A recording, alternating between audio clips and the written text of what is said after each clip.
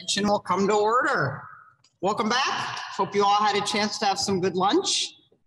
And uh, just a reminder that the voting is still open for the positions that we're able to vote for for convention. That is a different way of voting than the way we've been doing the polls. You need your simply voting ID um, and some other things. Uh, Perhaps I'll move the mic over to Carrie Combs and she can speak a little bit more about the voting process, not for resolutions, but rather for the positions that are open such as chapter and other such things. Gladly. We have been getting some questions around election voting. Again, this is different from voting on resolutions, amendments, things in our Zoom webinar. This is how we vote for members of the Mission Council or positions elected to the Standing Committee or other boards. And that will be using the password that you should have received from me uh, for your simply voting password. Again, that's a different process. Um, that's normally in a normal year, you'd have it printed on your name tag and you would still vote online. If you are still having trouble, please get in touch with our help team who are working hard to connect you and make sure that you are able to vote. The polls will remain open until the end of our, of our afternoon break. So keep on voting. I think we've had just over half of our delegates who are eligible um, have already voted. So please take, find the time to do so. Thank you. Thank you, Carrie. I recognize Secretary Cosman for a resolution, for a motion. I move to take from the table resolution number two entitled clergy compensation. Is there a second? Second, Resolution number two has been taken off the table, so it comes back before us. Resolution two, just to remind you. Oh, we need to vote on that. I was just all ready to go. Look at that. Um, so excited. The, um, are we ready to vote or is there any discussion on? No, no, debate. No, there's no discussion. no debate. No debate. We're just bringing it back. All right, voting. We're voting whether or not we're going to bring it back. Yes, please bring, bring back resolution two, or no, please don't bring back resolution two. I just got a note that said no audio. All right, says we're good.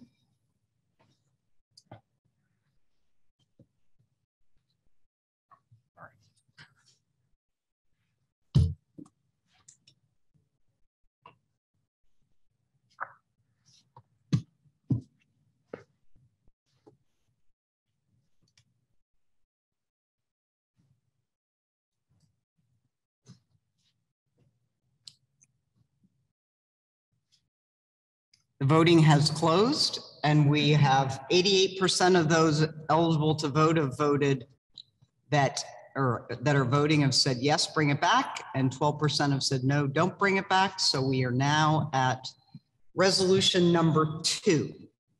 The question before us is resolution two as presented from the Mission Council. Further discussion.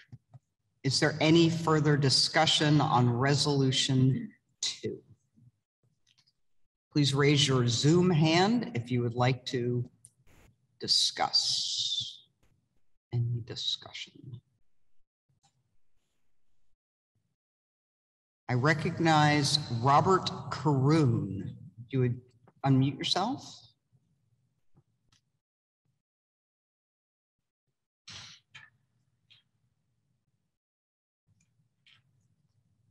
I recognize Dawn Burr, if you would unmute yourself.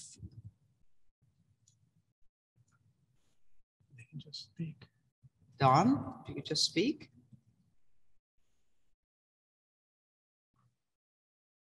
Dawn Burr? Oh, wait a minute.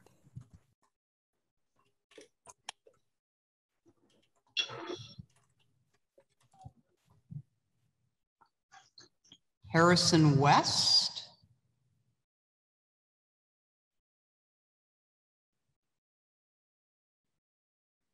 Harrison, if you'd like to unmute yourself.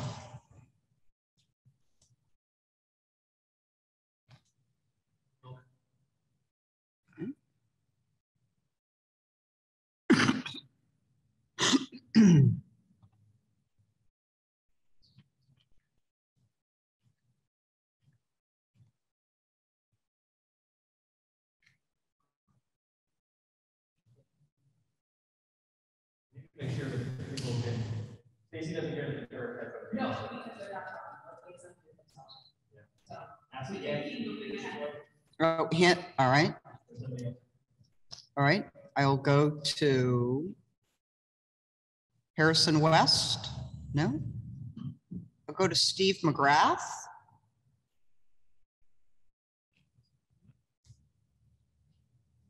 I'll go to Douglas Bowman.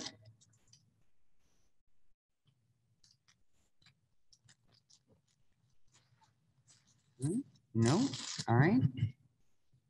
Dexter Cheney. Wait, I'm, I'm unmuted, guys. Okay, I've been called upon. This is Kate Wesh. I'm here. okay, okay, we'll go to Kate Wesh. Kate Wesh from St. John's, Essex. I would like to propose a similar amendment from earlier, but with this reworded, and I've sent the, uh, the reworded amendment to Stacy Cole. All right, Stacy will type in the amendment. So we can see it before us. The reworded amendment, hopefully, we uh, looked at the uh, suggestions in the chat and attempted to incorporate everybody's suggestions to meet as many needs as possible. All right, the resolution that you're proposing says this, and I'll read it, and if it sounds right, then we'll, I'll ask you, if we get a second, I'll ask you to speak to it. The resolution amendment that you're proposing is this. The table entitled Minimum Compensation Formula for Part-Time Clergy be amended to add a row for deacons vocational serving in Connecticut and then each organization with a serving deacon pay five hundred and twenty-five dollars a month to their deacon as remuneration. Uh, 20 25, sorry, twenty-five a month for, to their deacon as remuneration. And that each such organization also make the required contribution to the church pension fund for the benefit of the deacon. That's the amendment that's been suggested. Is there a second? If you'd like to second this amendment, please raise your Zoom hand. Don Burr, your Zoom hand, you're unmute. Can you unmute? I second that. Thank you, Don. It's been moved and seconded. Kate, would you like to speak more to this amendment? I believe, uh, this is Kate, um, from reading all the comments in the chat, I believe that this allows enough uh, generality for all of the uh, different scenarios people suggested um, to be addressed. And so I, I hope that this language is um, uh, general enough that it, that it will meet the needs that people were striving to meet. Okay, outstanding. Um, Ishmael Despot, you have your hand up?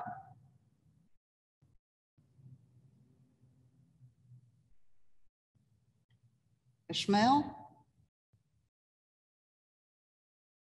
Pat Collar, you have your hand up?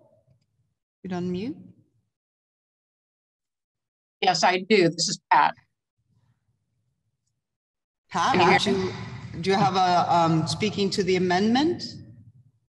Yes, but I, I'm afraid that I would, I would speak to just add one word to this amendment.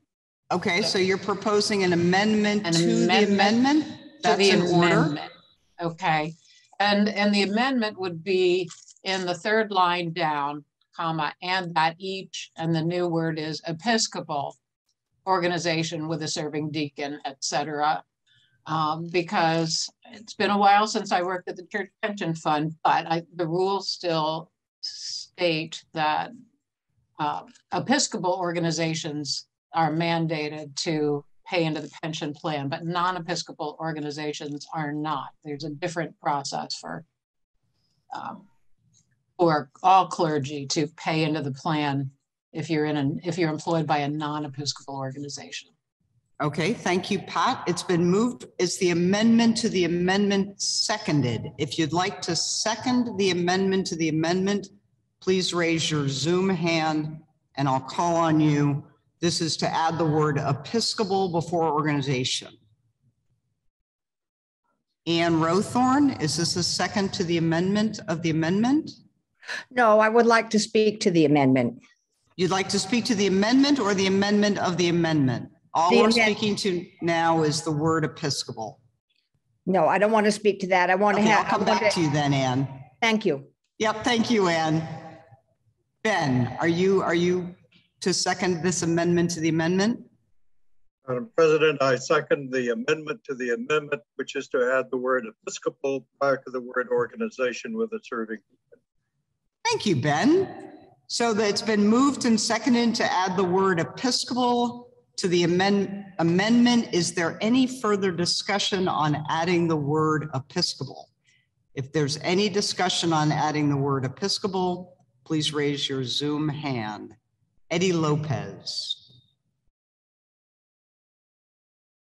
Bishop, I'm sorry, I had lowered. I was just going to second uh, the amendment the Okay, great. Uh, Paul Carling.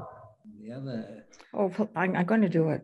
oh, Uh, Madam President, Paul Carling. Um, I rise in opposition to the amendment to the amendment. Um, I think it really goes against uh, our commitment to mission and to uh, working with all organizations that advance God's mission in the community. Um, I think that any technicality of implementing this um, amendment, this overall amendment, uh, is really something the church pension group in all of its wisdom and, and resources can do without our limiting it in such a way that um, if a deacon is working for a wonderful nonprofit uh, that doesn't call itself Episcopal and yet is very consistent with our with our notion of diaconal ministry, I think CPG can work that out, and we don't have to preempt uh, that problem and try to solve it for them. Thank you. Thank you, Paul. Michael Denegris.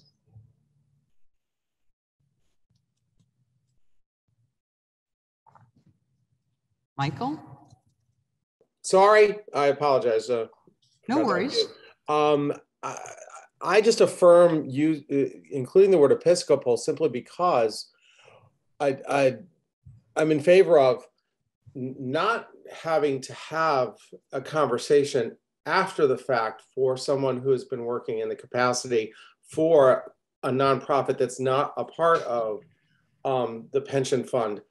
Uh, it seems prudent to make to make that clear beforehand that uh, if you're operating through the organization that's subject to the to the pension fund that it makes sense that it be an, an episcopal organization as the as our charter as the whole process is so I, I i just affirm the fact that using episcopal organization makes sense thank you Thank you very much. George Roberts?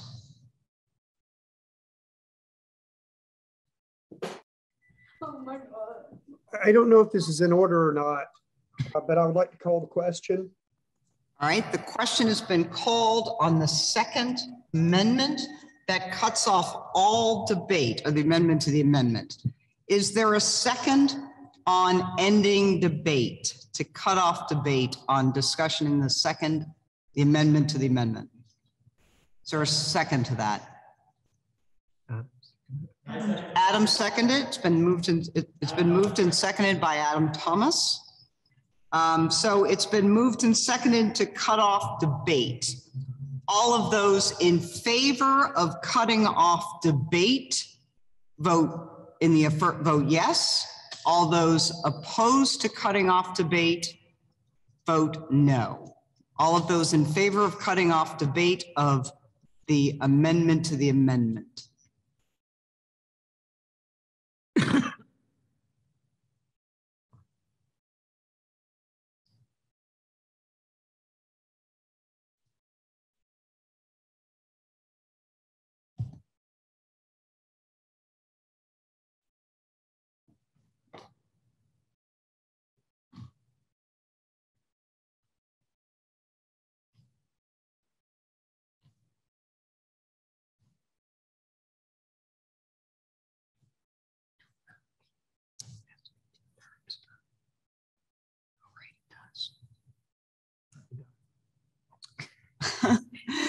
The, um, Yeah, so thank you. The, uh, the the polling is closed and the question before, so we have, we have voted to cut off debate. It needed two thirds of the vote to pass and it easily does that with 94%.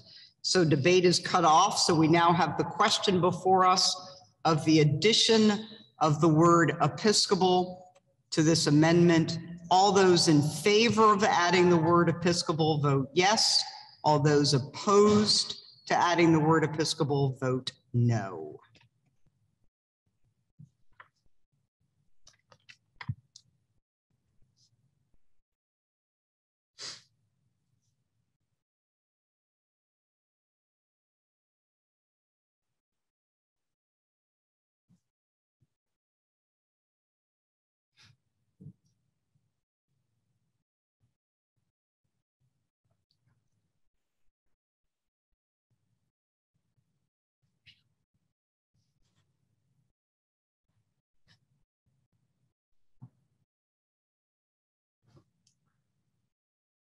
Voting is closed.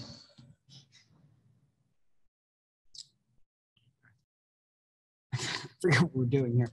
Question before, Adding the word Episcopal. adding the word Episcopal, thank you. And all of a sudden I just had a blank there for a minute. Um, we've added the word Episcopal. It passes in the majority, 71%. We've added the word Episcopal. So now we are back to the amendment as amended. All right. The resolution before us is to add the table minimum compensation formula for part-time clergy to be amended to add a row for deacons, vocational, serving in Connecticut, and then each Episcopal organization with a serving deacon pay twenty-five dollars a month to their deacons as a reimburse, as remuneration, and that each organization all make the required contribution to the church pen- pension fund for the benefit of the deacon. That is what is before us, is this amendment. All those who would like to speak to the amendment, please raise your Zoom hand. Ann Rowthorn.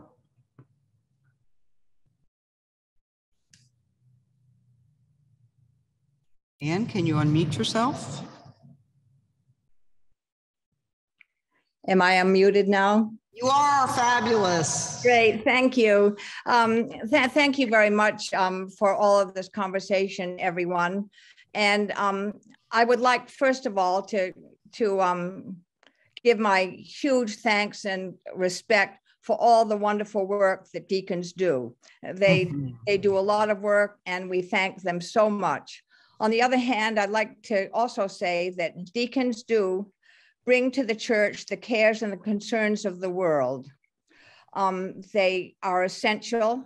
They bring our concerns, our compassions, our striving for justice to the world. And as such, they identify with us, the laity. I would also like to point out that the laity, with no compensation, no particular status, no insurance, also work diligently and with passion um, in hospitals, prisons, homeless shelters, soup kitchens, um, emergency shelters for women, and outreach of all kinds. Um, they don't have collars around their necks. They don't have any any particular um, pensions. Um, they do it out of the goodness and the love of their hearts. And so um, I would like to vote for this um, this um, this um, resolution, but I would like to delete the amendment. All right, so you're speaking against the amendment. Thank you, Ann. Eddie Lopez. Okay, whatever. Uh, Bishop, I had lowered uh, my hand. For some reason, it just doesn't lower on my side. Okey dokey. Thanks, Eddie. Douglas Bowman, speaking to the amendment. Yeah, hi. Uh, Doug Bowman, Grace, Hartford. So I just want to ask, um, you know, we have many parishes that don't have the financial resources to have a full-time priest. And if you're putting a financial requirement on a deacon, would this have a chilling effect for more financially strapped parishes? I, I think it's something to think about. You ra, you raised, you raised a good question, just raising the, the, the additional cost that that would be to a parish. That, that is correct. Yeah. Um, you know, Are you asking that as a point of information that perhaps Kate could speak to? Or, or just raising it for the general? just raising it for general thought. Okay, thank you so much. Ben Brockman.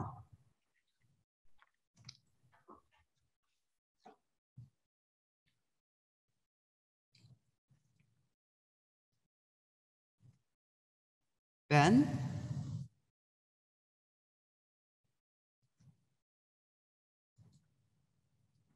Ken Fraley. Ken Fraley?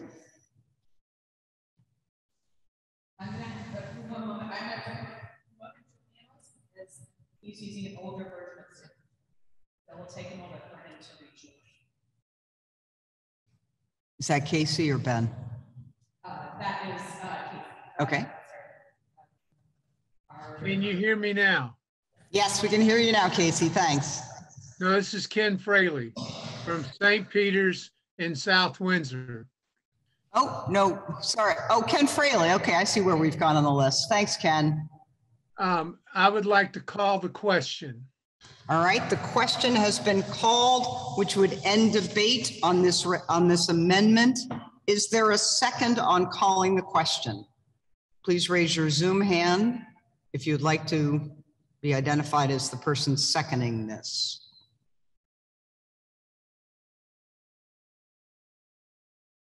Stephen Holton, I see your hand up. Are you seconding the, calling the question? No, Bishop, my hand was still up to speak to, uh, to. to Okay, nope, nope, I'm just looking for somebody to call the question, Sorry. sorry. If everyone could lower their hands unless you're going to um, offer a second, that would be most helpful. Okay, that's process, that's helpful, Stacy, thank you. Douglas Bowman,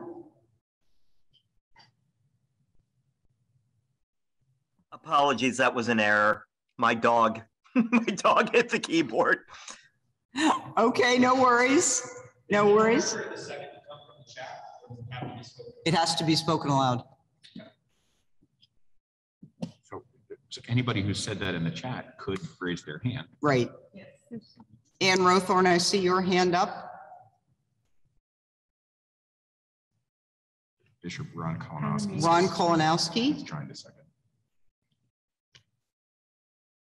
Ron, you're unmuted. Ron Casey, Ron, Kolonowski and D. St. Little. Peter's Hebron, and I do second this. Thank you. Ron. All right, it's been moved and seconded to cut off debate. So all those in favorable, in favor of cutting off debate on the amendment, please vote yes. All those not in favor of cutting off debate and wanting to continue this conversation on the amendment, vote no.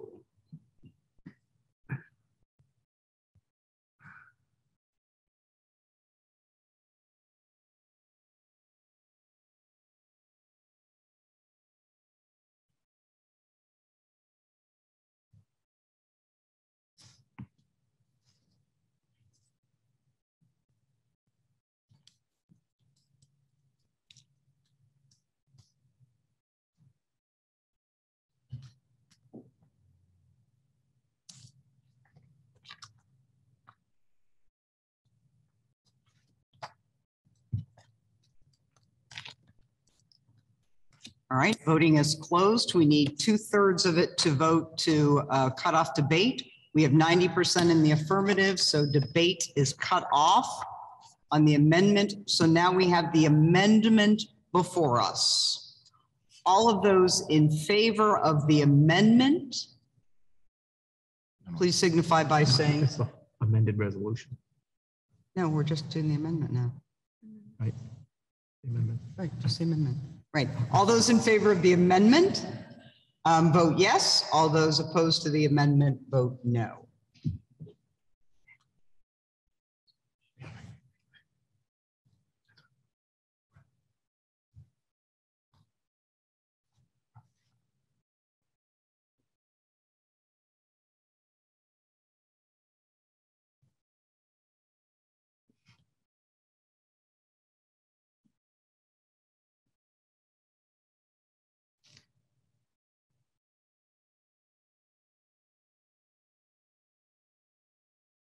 All right. The amendment passes 79% to 21%. We now have before us Resolution 2 as amended. So we have the resolution clergy compensation with the addition of the amendment before us. Is there any discussion on Resolution 2 as now amended? Please raise your Zoom hand if you have a question or comment to make on Resolution 2 as amended. I see Steve McGrath has his hand up.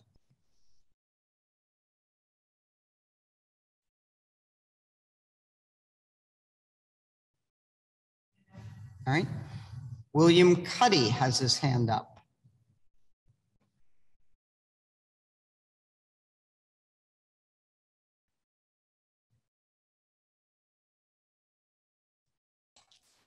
I'm Bill Cuddy from Christ Church in Guilford, and uh, I support this resolution.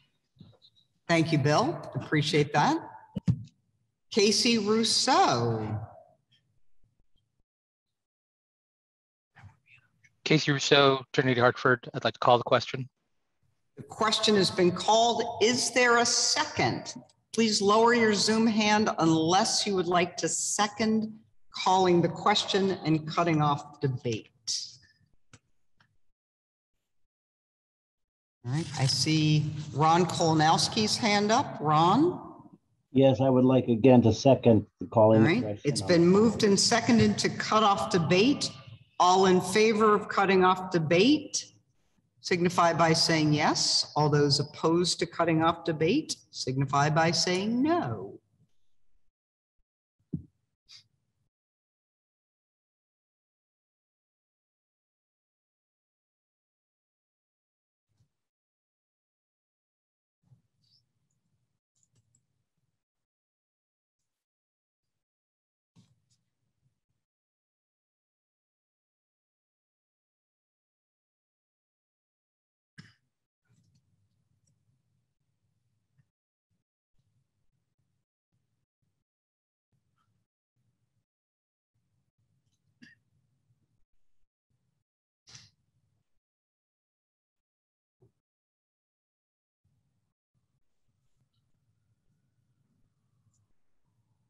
Okay. 92% of the, those voting want to cut off debate, so we shall. All right. So now we have before us Resolution 2 as amended. All in favor of Resolution 2 as amended, please signify by saying yes. All those opposed to Resolution 2 as amended signify by saying no.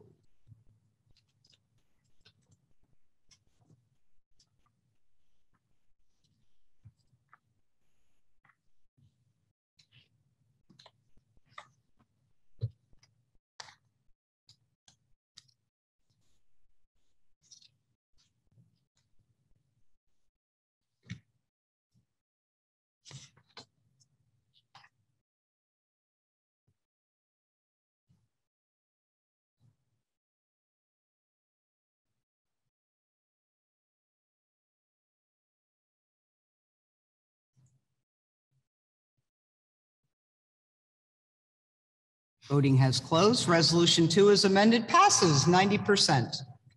Thank you all very much. Super great fun playing with Robert's Rules of Orders and Resolution 2 with all of you today. Um, Had some great fun there. And now I'm going to turn this over to Bishop Douglas for a little bit.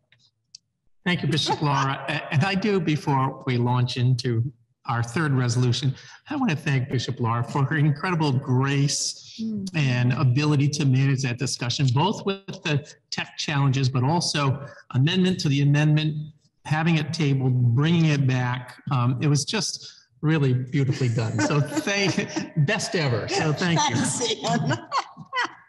I now recognize Secretary Kosman for a resolution. Thank you, Mr. President. I move the adoption of resolution number three entitled Care for God's Creation and Creatures. Is there a second? And I think the way I would like to do this, learning from Bishop Laura's good chairing, is please raise your Zoom hand and also type it in the chat. Because if we see it typed in the chat and your hand zoomed, then I can just recognize it without having to run down the list. So I see uh, Jose Martinez Gonzalez, both raised hand and in the chat, so I'll take that as a second. So the question before us is resolution number three, care for God's creation and creatures. And I recognize the Reverend Dr. Anita Shell, a sponsor of the resolution, who has up to two minutes to speak to this. So Anita, over to you. Thank you, ra- Bishop. Raise your Zoom hand. We'll be able to give you. Okay, great. Thank you. Am I all set? Yes, we can hear Okay, you. thank, okay, thank you. Thank you, Bishop Douglas. The world is a fragile place. It has always been so. What is changing here in Connecticut is a space in which we may discover our own roles in preserving this world, especially for those beings for whom fragility has always been a way of life. As recently as this summer and fall, amidst a global pandemic and increased acts of racism and terrorism throughout the land, the incidence of climate disasters significantly increased. We watched in horror on our devices whole communities in Louisiana being washed away by floodwaters due to rising sea level. We have seen entire neighborhoods and thousands of acres of forest land in, in California smoldering out of control from relentless forest fires. We have witnessed severe drought in the Midwest, causing food insecurity and loss of land and employment to the farmers of our country. The reservoirs in Colorado are precipitously low. Climate change is widening the threat to global security and financial stability. The summer of 2020, Hurricane Isaias struck Connecticut with a force that caused my own parish in Old Lyme over $100,000 worth of damage with a single felled 54 year old pin oak tree. Not only are these scenarios becoming more frequent and severe, they sure look apocalyptic. Is this the end of the world? This creation care resolution specifically addresses this moral crisis with concrete action steps for every single one of us. As with addressing COVID 19 and racism, these resolves are intentional and mindful practices we, as people of faith in Connecticut, can, must take to literally save our planet. While we know these realities exist, concrete data received from the resolve steps of this resolution will enable us to better serve and support every community of our beloved ECCT, especially and particularly those for whom fragility has always been a way of life and now is exacerbated by these multiple crises. The data we collect will help us create a plan for building climate resilience in our churches and worshiping communities, more critical than ever before. It is essential that all our houses of worship are prepared for the realities of the climate crisis. Currently, we are not prepared. When people experience how their lives and local communities are changing before their eyes, they're often moved to think and act differently from the way we have always done it. This resolution calls for such measurable actions. Think of them as mindful steps for every one of us. How then shall we live amidst these crises affecting every member of creation? We have a plan for continuing life saving work of reconciliation with creation by passing this resolution. I urge you to do so without delay. As Paul wrote in his second letter to Timothy, For God did not give us a spirit of cowardice, but rather a spirit of power and of love and of self discipline. Thank you very much.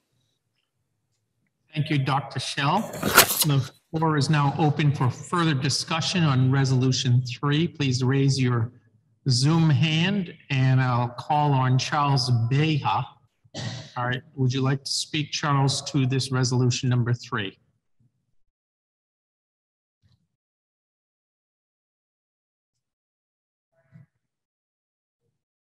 Charles?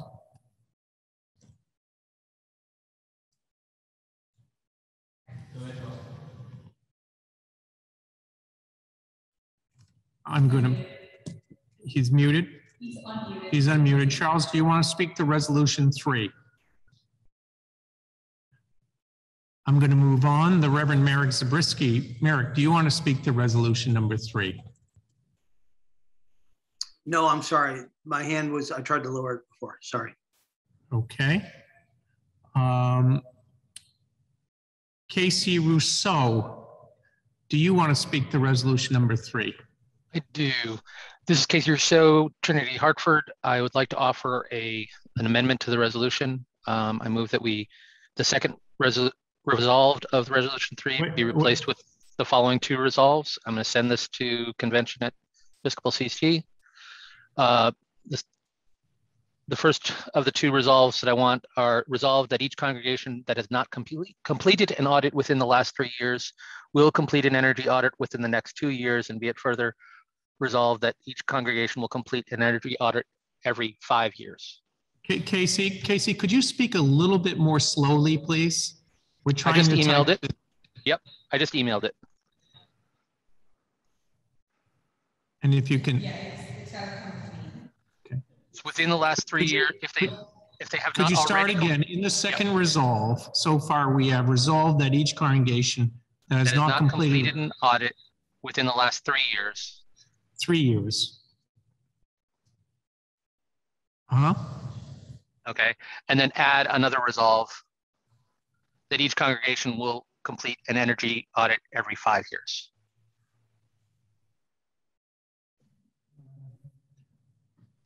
Okay, is that the sum total of your recommended amendment? Yes, if I may speak to it? No, Once not until we have, a not until we have a second, Casey. Mhm. Hold on. So we need to have a second. There's been some question asked as to whether the expedition or expediting, I should say, the seconds by both raising your hand and typing it in your chat qualifies as actually verbally saying it.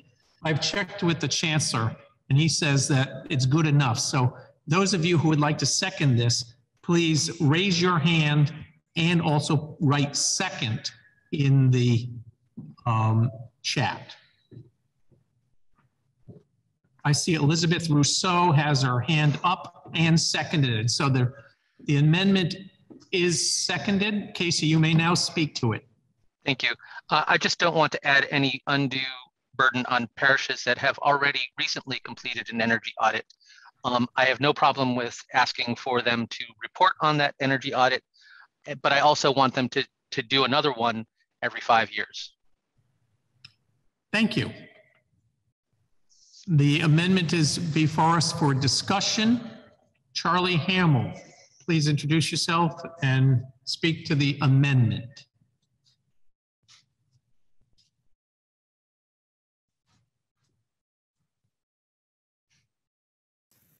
Actually, I was meaning to speak to the resolution itself. Sorry. Okay. Put- If you're not speaking to the amendment, I please. know, I know. Please I lower got your hand. Th- Thank you. So Ambromel, are you speaking to the amendment?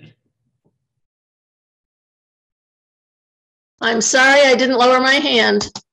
Okay, uh, pl- please, once again, folk, we, we can really save time if, if we lower our hands if we're not speaking to the piece of business before us. Faith Flora, are you speaking to the amendment?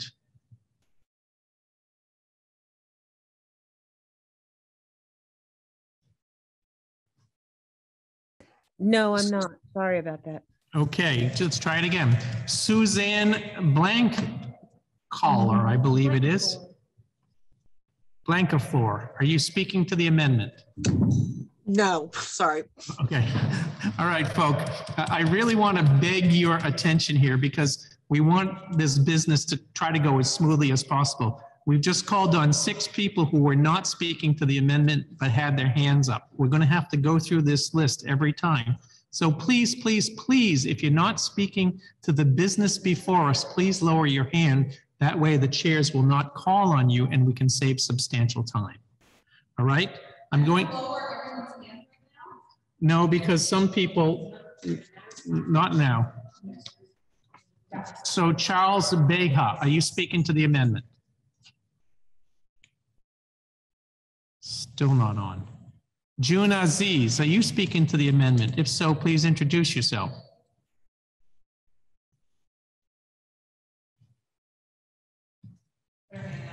Okay. St. John's Vernon, are you speaking to the amendment to resolution number three? Please introduce yourself. I'm Virginia Army, retired of St. John's Vernon. I am speaking to the amendment. I support the amendment and I'd like to call the question. So you're speaking to the amendment. That's. In support, I couldn't hear. I can't- hear. In support of the amendment. Speaking to the amendment. You, you, you can't do both, can you? Mr. Chancellor? So. She has the floor. She can She has the call- move floor, okay. Move to call the question. So she's speaking to the amendment, yes, and, and you've called the question on the amendment. That will require um, a second. Everyone, someone who wants the second. Thank you, Adam. So the question has been called on the amendment that is not debatable. So we'll go to our poll. And the question here, if you vote yes, if you want to stop debate on the amendment. Vote yes if you want to stop debate on amendment, vote no if you want to continue debating the amendment.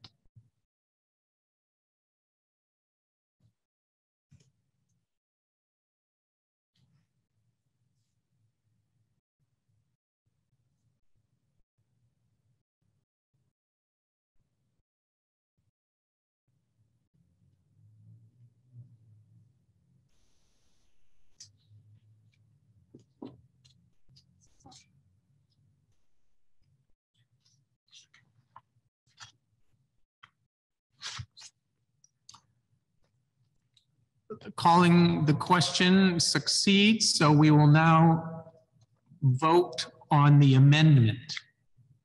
The amendment. Those of you who vote yes are in favor of the amendment, no is against the amendment.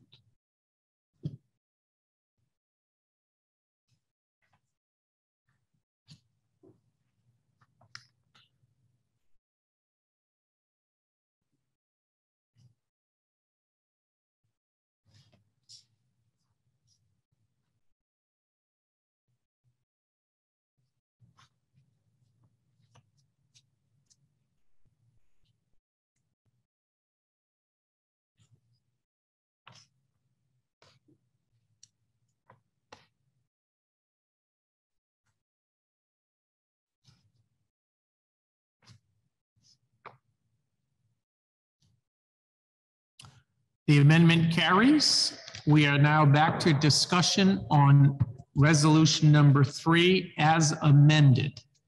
And you should have that before you on momentarily on your screen. Resolution three as amended. And speaking to that, I'll call on St. Saviors. I believe that's probably Ian Montgomery, if I recall from this morning. Please unmute yourself and introduce yourself. Ian Montgomery, St. Saviour's Church. I haven't been able to change my screen name. I apologize. Uh, in referring to Douglas Bowman, I'm speaking against the resolution. Douglas Bowman in the chat writes more potential financial liabilities for smaller parishes. As the priest in charge of a, a small parish, blessedly growing, um, we there are many worthy causes and many worthy works that we can resolve to be supportive of as the Episcopal Church in Connecticut. I support the spirit of this resolution. I speak against it because of the obligations. Um, I speak against mandatory, uh, taking a, a special interest, which one may have, and making it mandatory for everybody and adding to the administration of small churches, which so many of us serve. In my own congregation, it's me and about five others who give time. And I think um, it puts an undue burden and is antithetical to the missional concept if we're told what mission, what aspects of mission we must follow. And it doesn't enable us to be nimble if we're burdened by uh, mandatory aspects of mission. I yield the floor. Thank you. Our Charlie Hamill speaking to the resolution number three as amended, please. Charlie Hamill, Grace Church, Old Saybrook. Uh, I, I think that was a Douglas that spoke before me. Um, I'd like to, I know I'm not seconding his motion, but I'd second uh, the heart of his suggestion uh, clearly that this resolution speaks to wonderful things and wonderful work, but the obligations uh, put upon us are already burdensome. Um, our parish is already working on doing some of these on our own, and I wonder if it couldn't be the work of, of a, a Episcopal Church in Connecticut task force or other group to provide us with perhaps a booklet instead that suggests these things uh, that we could take on our own uh, if and when we wanted to in the, the idea of sloughing off the obligations and going on on our own pace. Um, I agree with the undue burden of all sorts of bureaucratic obligations and uh, would vote against this resolution. Thank you. So you were speaking against the amendment, uh, uh, the resolution as amended. Yes, sir. Okay, thank you. Michael Denegris. Hi, it's Mike Denegris. Um, I, I. Could you introduce yourself, please, Michael? I'm Michael Denegris from Good Shepherd Church in Bristol. Um, I am in favor of this uh, um, simply because it, it does not specify which type of energy audit or, or how one is auditing themselves, because there are not only small parishes like ours that recently, in fact, thank you um, to, I forgot who it was that uh, changed that um, that amended this resolution, but um, we recently did and are performing um, a lighting project that will significantly reduce emissions and uh, provide cleaner and less expensive light within the par within the church. But uh, you know that coupled with making you know our own um, practices of weather stripping and and and adhering to basic common practices should be enough to report back that we've done um, an audit of our own um, system. The problem I was having was that um, a worshiping community that does not necessarily have a building or necessarily have um, something to audit about would have more of a problem conducting an energy audit, let's say through the electric company or through the through another provider. So I'm curious whether we should make this resolution um, a statement of that that we. Michael, you have 10 more seconds. Just a, just a thought, putting it out there that I'm not sure this could be implemented with any kind of bite. So why not just resolve that we are going to uh, believe in this and and move forward in this manner. Thanks. Thank you. Um, Folk, I want to remind you, you have up to two minutes to speak to the question on the floor. Also, when you introduce yourself, could you please begin by saying whether you're going to, you're speaking for or against the question before us? That would be tremendously helpful to help people follow the, the kind of discussion. So once you introduce yourself, please say whether you're voting for or against or speaking for or against the question before us, and then you have the time left up to two minutes to complete your discussion. Thank you. Douglas Bowman, please unmute yourself and speak to the question, which is resolution three as amended. Correct. Uh, Doug Bowman, Grace Hartford.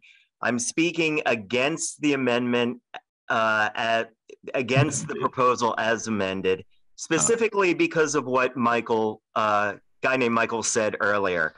This energy audit is not defined. So, what constitutes an energy audit? Uh, um, do I look around the parish hall and say to Rowena, "Hey, it looks great. We're done our we're done our audit."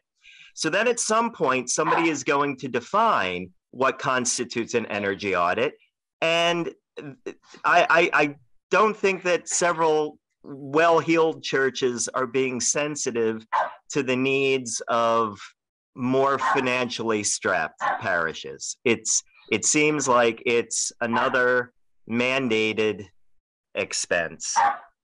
Thank you for your time. Thank you, Doug. Whitney Althoff. Thank you. Um, the Reverend Whitney Althoff, rector at St. Stephen's in Ridgefield. And I also stand against this resolution. I believe in the spirit of it, and I would love to see a resolution that speaks to our commitment to figure this out in the variety of ways that might need to be considered to live into the commitment. Um, because I do believe we believe in this. Um, uh, for all the reasons that have already been stated, um, to outline it with these various resolves um, takes us in a direction um, that I think people have, I, I have heard highlights um, the burden for smaller congregations and limited volunteer based, you know, groups in congregations. So I speak against this amendment. Um, but I will tell you personally, as the Reverend Whitney Alltop, I'm truly in favor of the spirit of what this is trying to do. Thank you. Thank you. Gabrielle Johnson, please introduce yourself and say whether you're speaking for or against the resolution Hi. number three as amended. Hi, I'm Gabrielle Johnson from Christ Church in Guilford, and I would like to speak for the amendment, uh, sorry, for the resolution, because I think it's part of keeping our house in order. Um, and, and the importance of, of being aware of our impact on the environment as members of the Episcopal Church in Connecticut. I understand the financial concerns, and I have been in parishes both rich and poor. And I think that just requiring an audit is not a, a financial burden because the, the electric company does them for free. I've seen in the comments that there's some sort of uh, organization that will do them for free um, through the church. I don't know whether that's true or not. But if we don't put our, you know, our money where our mouth is, it's never going to happen. Um, but also the the the congregations themselves will need to decide, you know, what they do in response to the energy audit. And, and they can still do that given this uh, resolution. And I think that we should perhaps look into along the road finding funds to help smaller congregations to pay for the improvements that the audit points out. Thank you.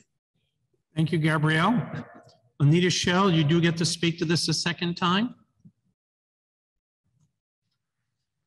Thank you, Bishop. I appreciate all the opportunity uh, to hear different voices in the room, so vital. I want to just be very clear. In my experience in three previous parishes, not all of means, such as in, at St. Anne's Old Lyme, it was not a burden not only to the congregation in terms of staffing to get this information, but these audits, in my experience, have always been free. So I appreciate the diverse views on this, but I want to just be clear that there should not have to be any financial cost to any parish, and the all as well as there's not a burden getting information. That's why the Creation Care Network is willing and ready to stand by to help with those resources. Thank you, Bishop. Thank you. Gus Schagel, please introduce yourself and whether you're speaking for or against the resolution as amended. Hi, uh, Gus Schlegel, uh, St. John's in Stamford. I speak for the resolution. Um, look, there, there's no mandate here on, on how to conduct this, this, this audit. It's to start a conversation. And, and for those parishes who say that they're, they're, they're strapped for funds, well, you know, this is a way to kind of take a look and say, oh, well, we're wasting energy. I, at, for my own house, asked the, the power company to, to, to, to do an audit. They compared what I use to other people within the home, with within the area, and it. Um, I discovered that um, you know I'm I'm using a little bit too much, and so that makes me walk around, pull out uh, stuff that I'm not really using. So it can actually it, actually saves me money. So it can save parishes that are looking to, to, to, to save money, it could actually save the money. I, I'm, I'm opposed to a mandate from the ECCT that would say you need to conduct an audit in this way just because there's not enough information. This should be a way to start a conversation and um, and, and and not mandate anything. Um, but but I I this there's nothing in this verbiage here that says that um, anyone needs to go out and spend a lot of money or any money at all. It's it's to get people talking and take a look at them themselves and say, hey, how are we how are we wasting energy or how how are we energy efficient? I yield to the floor. Thank you, Gus. Dee Littlepage, please introduce yourself and whether you're speaking for or against the resolution. Hi. I'm the Reverend Dee Littlepage, rector of Trinity Church in Hartford, and just want to speak in favor of the uh, resolution and noting that others have that it's a broad definition, that there's no definition of audit. And there have been concerns about um, smaller congregations having enough volunteer time. Um, it is about intentionality, so having a conversation is part of doing that audit. Um, the other thing I want to raise is that folks have talked about communities that don't own their building, but the energy audit is not limited to just a building. So thinking about the ways that we go about our mission, if we have a food pantry, how are we receiving our food, delivering food? Are there ways we can do that more energy efficiently? Um, so this this is a very broad uh, resolution, which I think is good because it allows flexibility for communities to engage it in the way that works best for them. That's all. Thank you, Dee. Chuck Hoffman, introduce yourself and for or against. I'm Chuck Hoffman, uh, commissioner priest in charge with my wife Ellendale at St. John's Church in New Haven, and I call a question. That is in order. There, that, that will need a second, please. Um, if you want to second this calling of the question, please both type second in the chat and raise your Zoom hand, and I'll look for correspondence. And If anyone on the table sees the same, let me know.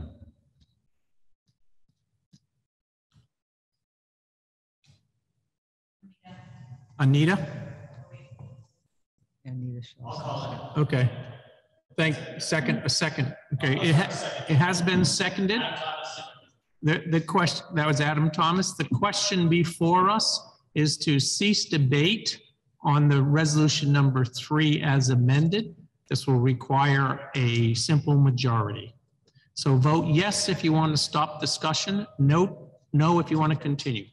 Oh, I'm sorry, two thirds. Thank you. The parliamentarian and Bishop Suffragan remind me it's two thirds and their math is better than, I- than mine. So they'll, they'll do the, they'll do the math unless it's an easy one. Thank you.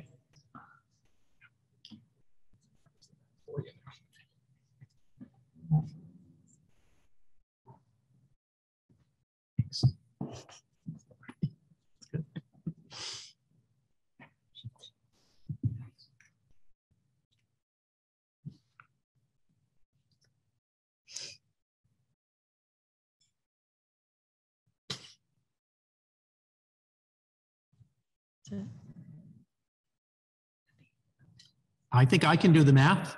I don't need Brad and Laura for that one. Thank you. Uh, 95% vote um, to cease debate. So the debate has been ended. The question before us is resolution number three as amended. If you're in favor of it, please vote yes. Those opposed, vote no.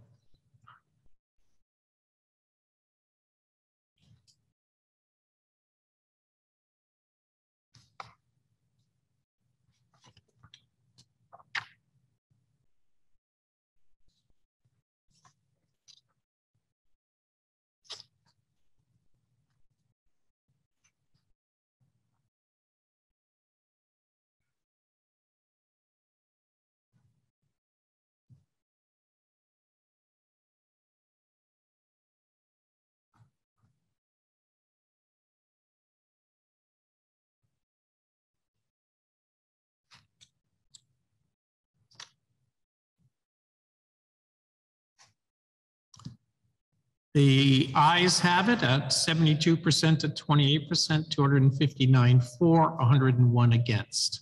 Thank you. We'll now move to the next order of business, and I ask the Secretary Cosman for another resolution. Thank you. Thank you, Mr. President. I move the adoption of resolution number four entitled Fostering Right Relationships, E ECCT, Indigenous Episcopalians, and our Indigenous neighbors. Thank you. The question before us is resolution number four, fostering right relationship. the Episcopal Church, Indigenous Episcopalians, and our Indigenous neighbors. Is there a second? Chip Elliott's hand is up, and also he wrote second in the chat. Thank you, Chip, for being right on that. It is seconded. And speaking in favor of the resolution is one of the proposers, I think the Reverend Bob Bergner. So Bob, you have two minutes. Thank you, Bishop Ian, and thank you, members of convention. We're actually going to show you a video in a moment, but I wanted to make a brief introductory statement beforehand. As all of us probably know, the history of interaction between European. You still have only two minutes. Hmm. Huh.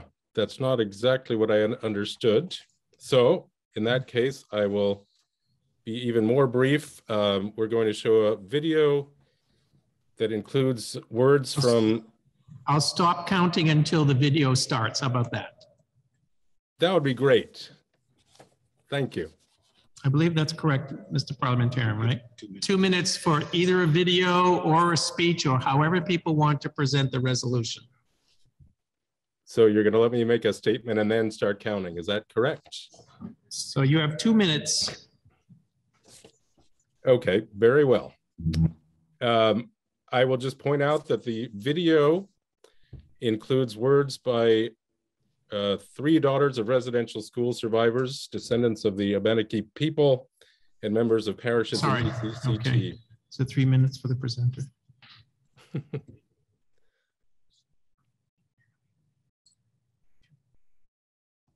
Was there more information there? No. We'll, Uh, we'll let the video roll. Okay, and also to say that the video does have some printed text in it, which passes rather quickly due to these time constraints. So I believe Rachel Thomas is going to put a link to the video in the chat if people want to be able to watch it at a more leisurely pace and take in the text in a more comfortable manner. Thank you very much. We can roll the video. Thank you.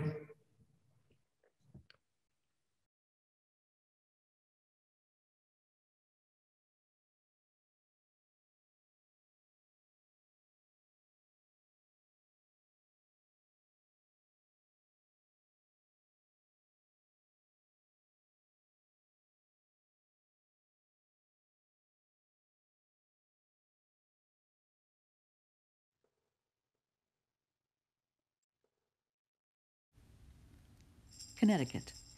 The state takes its name from the river that runs through it, an anglicized version of the name given by the native Mohegan Pequot people, Quanatucket, meaning Long Tidal River. Historical evidence suggests that native people made their home in this region for as much as 12,000 years.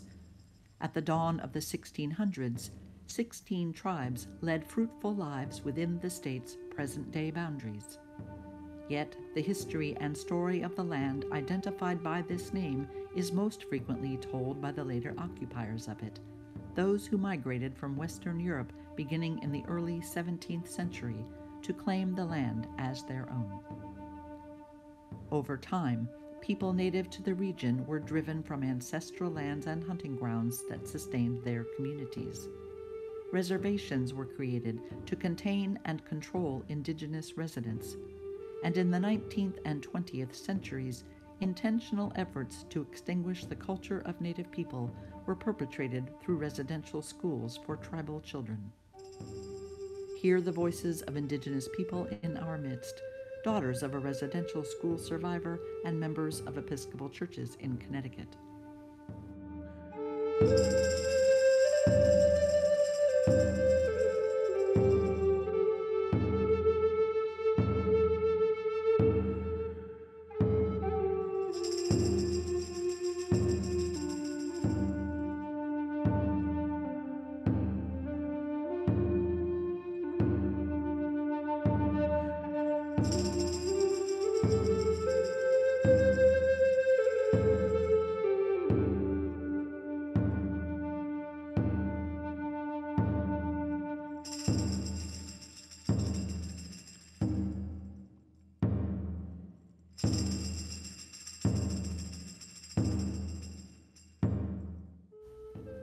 This resolution asks this convention to take deliberate steps to listen to their voices, acknowledge the sins of society and the church, and open an opportunity to seek a course toward healing and reconciliation. What would it take to foster right relationship with our Indigenous neighbors and with the Indigenous members of our Episcopal family? What would it take to acknowledge past wrongs committed against them, to ask for forgiveness, and to begin again? Walking together, how can we make things right?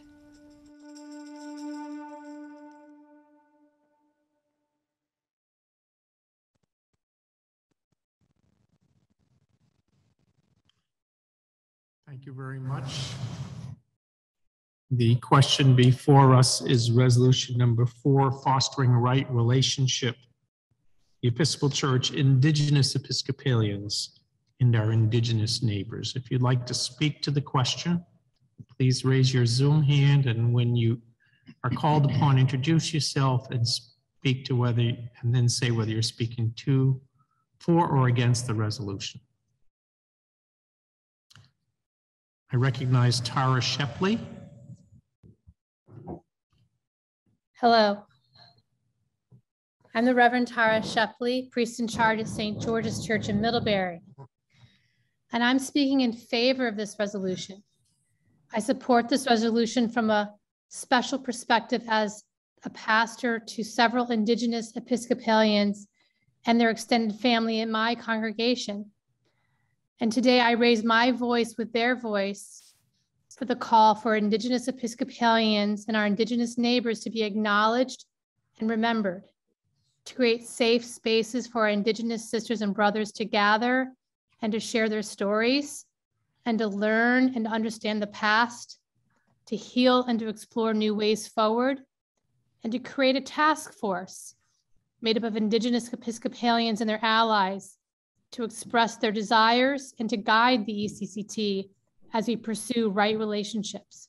I thank you for your support. Thank you, Tara.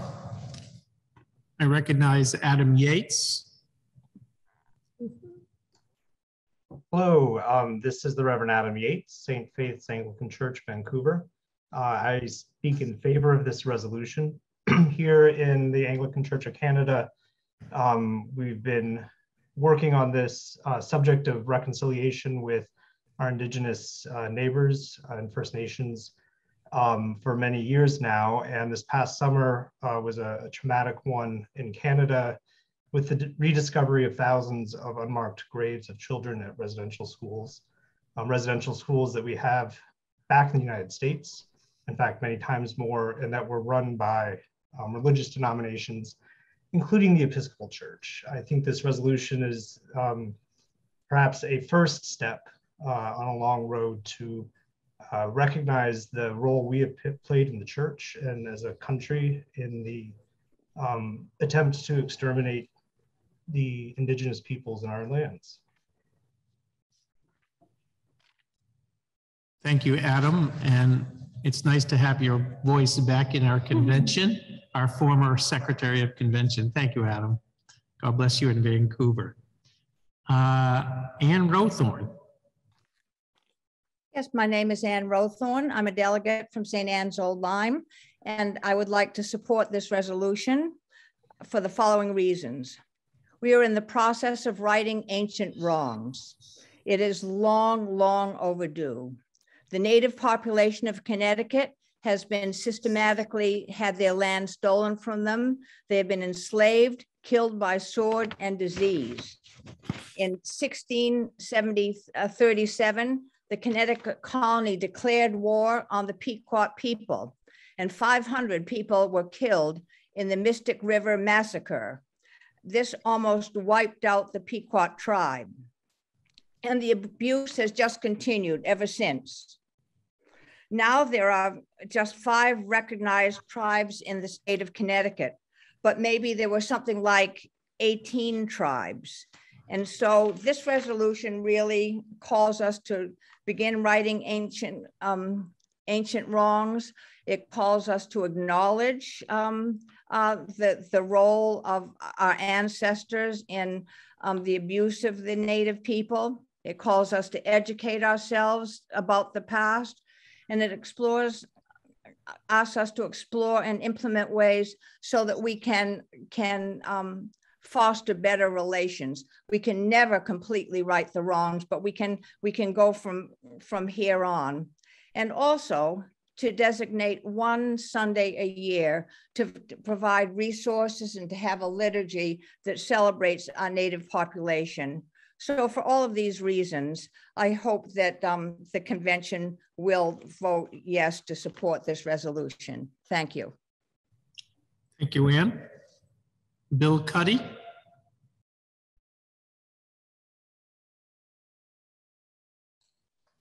Thank you, Bishop Ian. I um, support this resolution. I would also add that um, there are many, many people, other not in Connecticut, uh, South Dakota is a prime example where I believe that the uh, Episcopalians are the largest religious group in that state and where the church has a long history of providing education to people in that state. And we have recently also, last year, uh, provided th their current bishop from St. John's in Essex.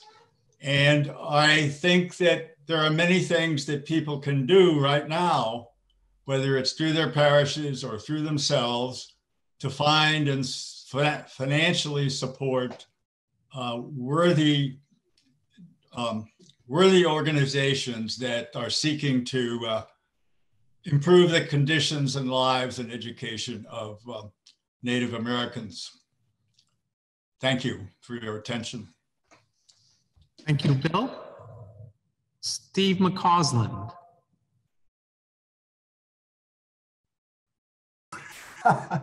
Uh, what a delight it is to be with uh, you here today. Um, I am. Can you introduce yourself, please, Steve? Oh, sorry, yeah, Steve McCausland. I'm from uh, uh St. Anne's Parish in Old Lyme, and uh, there are several people in front of me who have spoken today, including uh, Anita, our priest. And I have would just like to testify to the the gifts that Native people have shared with me. These are firsthand experiences. I spent several years living with the Cree up in Hudson Bay in Quebec. And, uh, and they were just very welcoming and took me into their homes and families and uh, taught me how to uh, live in the bush as a Cree person and experience some of their spiritual dreams and healings and so forth. I was sitting around the teepee one afternoon with a couple of my young friends, and uh, and one of them said, "Steve, it must be very hard to be an Indian in Boston." And I said, "To tell you the truth, Ed, I there, I don't know any. I think we killed them all." And there was no anger, no uh, you know, incense or anything like that about it all. It was just. Uh, Whoa. And that was the end of that conversation. I'm so glad to be here and that you're taking this up and uh, caring for creation at the same time. Thank you. Thank you, Steve. Whitney, and please introduce yourself and whether you're speaking for or against the resolution. I would like to call the question. I'm the Reverend Whitney Altop from St. Stephen's Ridgefield, and I'd like to call the question. Thank you. That is in order. We'll do our exercise with respect to seconding the calling of the question. Okay, I think I see Mo Letterman. Thank you. It's the question has been called and seconded. This is not debatable. It needs a two-thirds majority. I got it right this time. Um, and so the question before us, if you want to cease debate over resolution number four on indigent on fostering right relationship, please vote yes to cease debate, no if you want to continue discussing.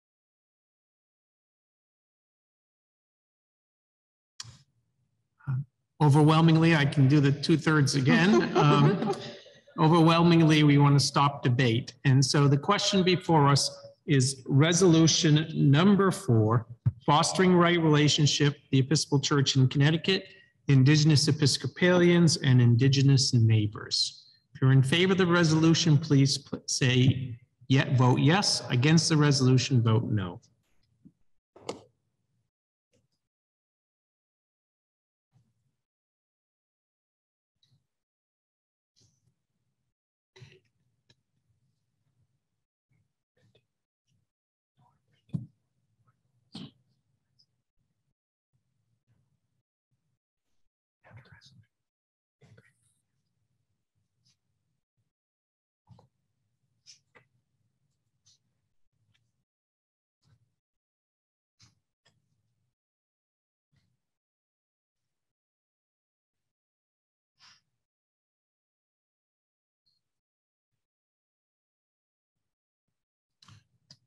The resolution carries. Thank you. I now recognize Sec- Secretary Kosman for another resolution. Thank you, Mr. President. I move the adoption of resolution number five entitled Sharing the Work of Creating a Safe Church. Thank you. The question before us is resolution number five, sharing in the work of creating a safe church. And I believe speaking to it is one of the, oh, I'm sorry, thank you. Is there a second? And please exercise our raising of hand and listening. Chip Elliott, thank you for being right on it with the seconds. So it's now been moved and seconded. And we will go to, I believe it's Whitney Altop, who is the, um, one of the proposers who will be speaking to this. Am I correct? Oh, oh, and also the Reverend Amjad Samuel. So Whitney and Amjad, you have two minutes combined. Is that correct, Mr. Parliamentary? Yes. So um, I am the Reverend Amjad Samuel from St. Paul Shelton. And the ECCT model policies were actually set by the last General Convention. They rightfully consider all vulnerable populations and what processes the local congregation can undertake to protect the most vulnerable. This includes various background checks for volunteers within the congregation. All background checks take place through a specific, a specific organization and have a cost associated with them. These policies are ideal, considering every possible population's needs and the requirements for providing the most foolproof safety. And I'm the Reverend Whitney Altop, Rector at St. Stephen's in Ridgefield. And I'd like to add that whereas we universally and fully commit to the need to provide a safe church for all people, the expectations outlined in the model policies are costly and onerous for local congregations to undertake on their own. They assume volunteering happens in congregations with clear long-term commitments and well-written job descriptions. Furthermore, they lack direction for the nimbleness necessary for congregational life to flourish. This resolution proposes that a working group of ECCT staff and congregational leadership in our diocese develop a way to more effectively distribute the work of providing a safe church acknowledging the limits of congregational leadership and the needs of the vulnerable so that we can more effectively meet the model policies. Thank you. Thank you very much, Amjad and Whitney. The resolution before us is resolution number five, and that is sharing in the work of creating a safe church. Please raise your hand, your Zoom hand for discussion, and I recognize Jen Pilot. Good afternoon. This is the Reverend Jen Pilot of newly minted Intentional Episcopal Community Seabury and All Saints Meriden. I would like to speak in favor of this resolution.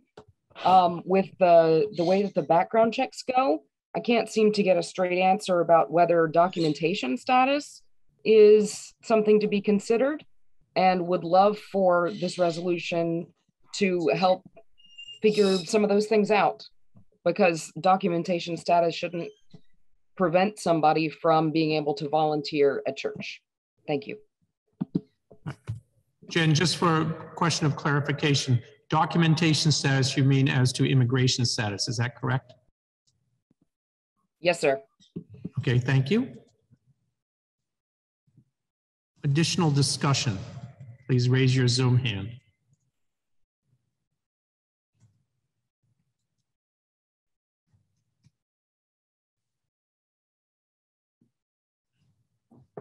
There was a question whether someone in the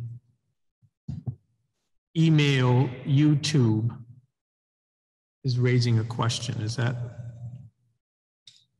wants to speak to this? Okay, do you have? We have somebody monitor YouTube. Yeah, I don't, there's no, Okay, then I've been misinformed.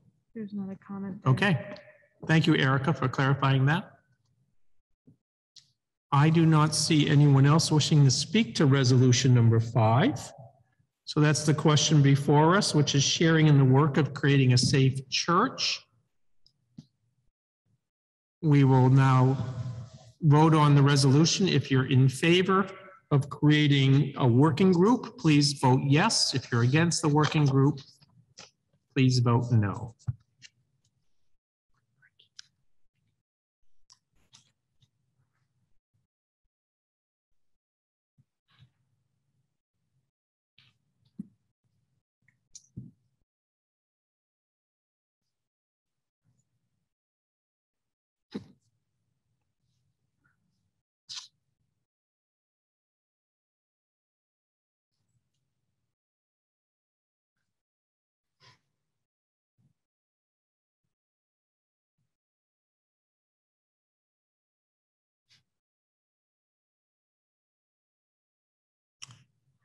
The resolution carries with 91%. Thank you very much. We will now have a 10-minute break. Actually, I'll squeeze it to 12 minutes. And uh, we'll come back at 25 minutes of four and take up resolution number six on young adults. And Bishop Laura will be back in the chair. 10 minutes. um, See you in a bit. Thanks.